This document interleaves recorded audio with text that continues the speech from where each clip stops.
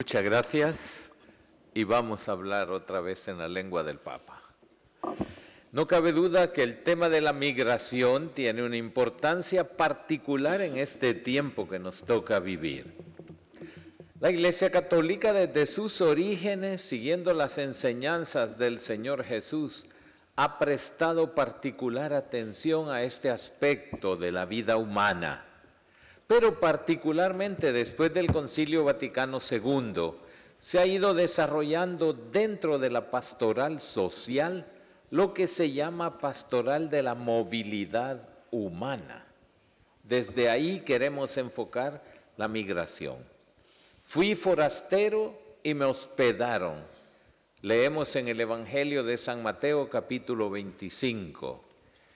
El año santo de la misericordia que apenas terminamos nos brindó una oportunidad excelente para profundizar en estos elementos de la vocación cristiana.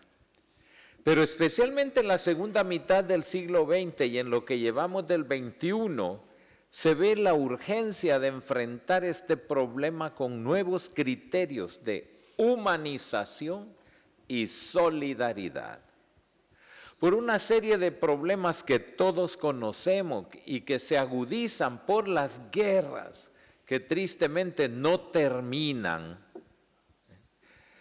por las recientes crisis de la economía mundial basada en la acumulación de riquezas en manos de pocos, por el enfoque puramente financiero de buscar solamente ganancias, y la desigualdad creciente han hecho que broten por todas partes la xenofobia, el racismo, la desconfianza y la hostilidad hacia el extranjero. En algunos países se piensa que un inmigrante llega para quitarle puestos de trabajo a los ciudadanos del país que sufren desempleo y debido al terrorismo de los últimos años no es fácil comprender y ver con ojos de misericordia al inmigrante. Y si a eso se añade el problema de que muchos son indocumentados, los problemas se agravan. ¿Qué se presenta?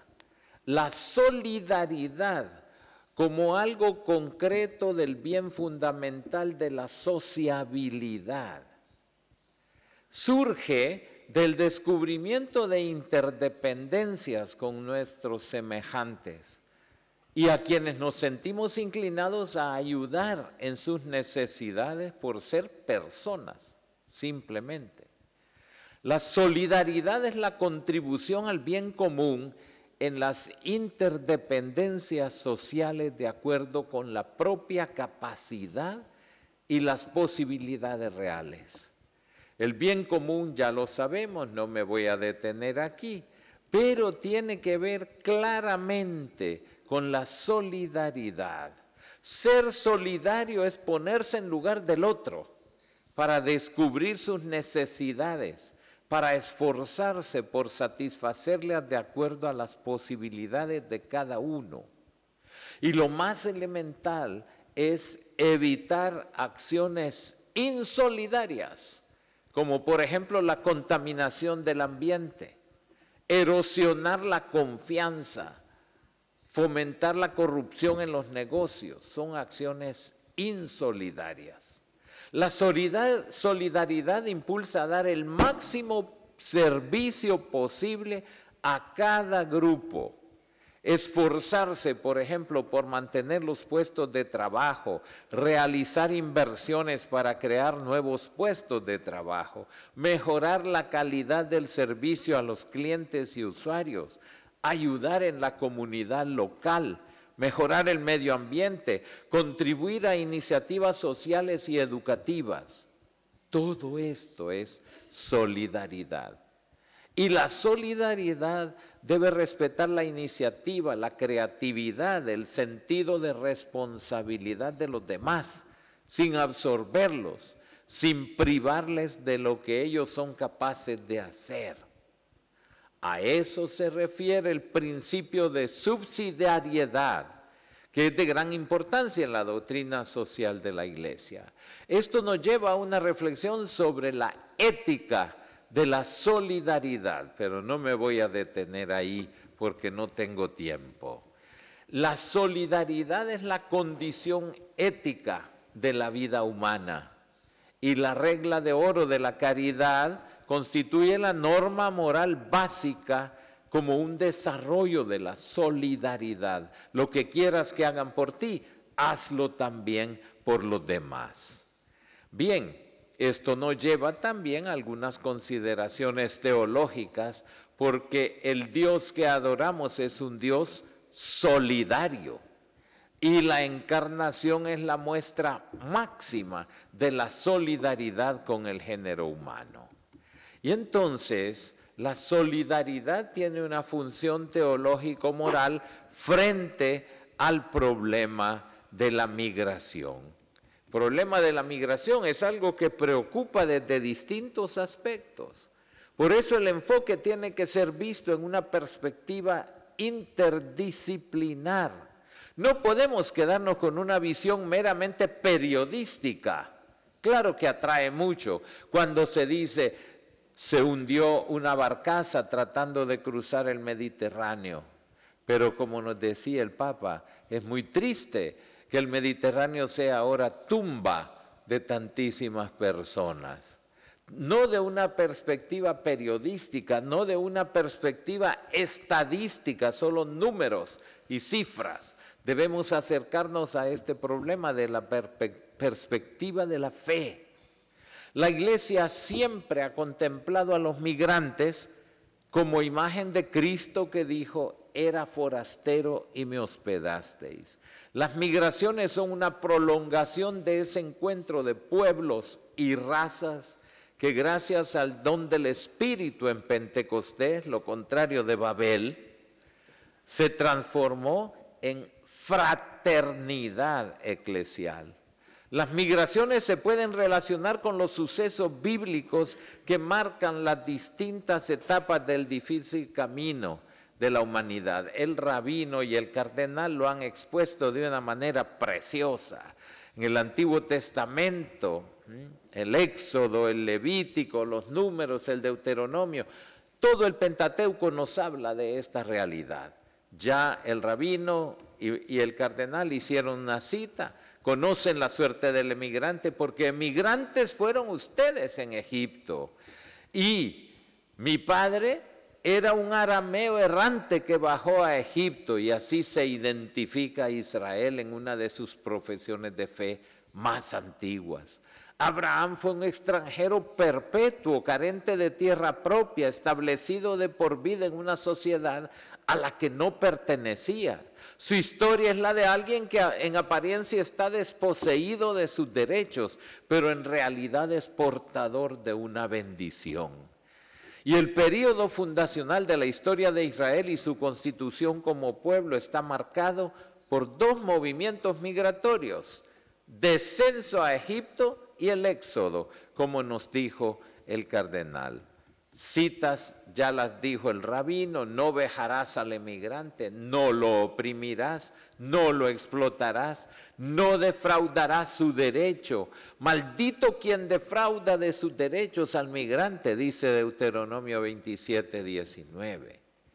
En épocas tardías se asigna a los extranjeros residentes atribuciones que hacen de ellos prácticamente miembros de la comunidad. Esta es la tierra que os repartiréis las doce tribus de Israel. Os la repartiréis a suerte como propiedad hereditaria, incluyendo a los emigrantes residentes entre vosotros, dice Ezequiel 47, 21. Gran parte, pues, de todas esas reflexiones están en el Pentateuco. El Nuevo Testamento, lo citó el cardenal, nos habla que la infancia de Jesús comienza en una emigración forzosa. Y eh, San Lucas narra el nacimiento de Jesús fuera de la ciudad porque no había sitio para él en la posada. Y su vida estará marcada siempre por el rechazo de los suyos que no lo recibieron. Y su muerte fue fuera de los muros de la ciudad. A ese es el testimonio de amor hasta el fin y de identificación solidaria con los excluidos y con los rechazados de este mundo. Así comienza entonces un largo camino de la doctrina social de la iglesia, especialmente durante su primera etapa. ¿eh? Ya el Papa Pío XII, desde el comienzo, del comienzo de los movimientos migratorios del mundo contemporáneo, acompañó esto. A la movilidad humana le ha de corresponder la movilidad de la iglesia, dijo. Y así la iglesia se hace emigrante con los emigrantes, en tantos sacerdotes, religiosos, religiosas que acompañaron a los migrantes, una aventura migratoria en congregaciones religiosas que fueron fundadas con la petición de la Santa Sede para atenderlos. Escuchábamos ayer el testimonio de Monseñor Scalabrini. Así, la diócesis de origen y de destino se ponen en marcha para organizar la atención pastoral y la existencia a tantos millones de personas que se desplazan buscando una vida mejor. Ya el Papa León XIII en una encíclica cuán erumnosa percibe la necesidad de una asistencia específica a los inmigrantes en el orden pastoral, en el orden asistencial y constituyen las parroquias nacionales, sociedades y patronatos a favor de los inmigrantes. Y ya Pío, Pío X, Benedicto XV, Pío XI continúan en esa línea. Después de la Segunda Guerra Mundial, encontramos a Pío XII que promulga una constitución apostólica ex familia que es el primer documento del magisterio eclesial sobre migraciones. Y es bien interesante cómo afirma el derecho natural y fundamental de cada persona para usar los bienes materiales de la tierra porque son creados por Dios para todos. Luego con Juan 23 comienza un análisis global y estructural de la violencia y la injusticia y los cambios tras la Segunda Guerra Mundial, por ejemplo, la Guerra Fría, la descolonización, el inicio de la explosión demográfica, el desarrollo científico, la brecha en aumento que separa a los países ricos y pobres, reafirma él el derecho a emigrar que tiene todo ser humano. Y después viene, y voy a terminar porque mi tiempo se acaba, viene otro principio muy fuerte en Juan 23, la integración del inmigrante, integración del nuevo llegado en la comunidad. Luego, el Concilio Vaticano II tiene cosas extraordinarias en la Constitución Gaudium et Spes. Y después del concilio, Pablo VI propone un motu propio con el cual constituye el Consejo de la Pastoral de los Migrantes, Migratorum Cura. Luego, la integración, promoción total del hombre y de la mujer migrantes. Se denuncian los eh, atropellos de los derechos humanos. Juan Pablo II incluso fortalece la no discriminación del trabajador extranjero en su encíclica sobre el trabajo humano.